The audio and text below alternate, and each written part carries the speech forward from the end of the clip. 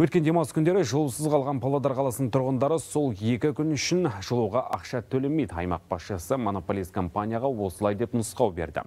Естеріңізге сала кетейік, өткен аптаның жұма күні кешкісін шаһардың оңтүстік бөлігіне жылу беретін бірінші орталыққа қарасты диаметрі 800 мм құбыр тесіліп, 440 үй және 36 әлеуметтік нысан жылусыз қалды.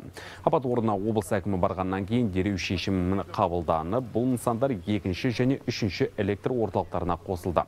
Ал ақау шыққан желдегі жөндеу жұмыстары бір тәуліктен кейін аяқталды.